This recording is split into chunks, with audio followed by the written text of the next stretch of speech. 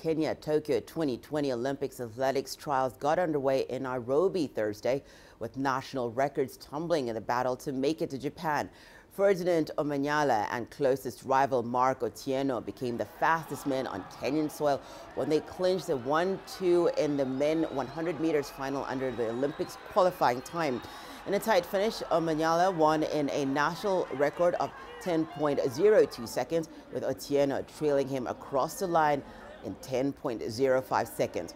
Both are now waiting to see whether they will get the nod from selectors on Saturday to make the Olympics team.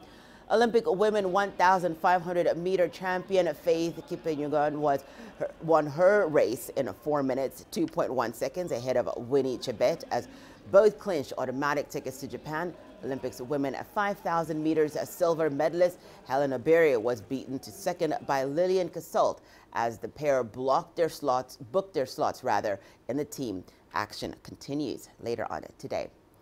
I'm so happy uh, for today's race and uh, actually it was for me it was just to win the race today and actually to focus for Olympics.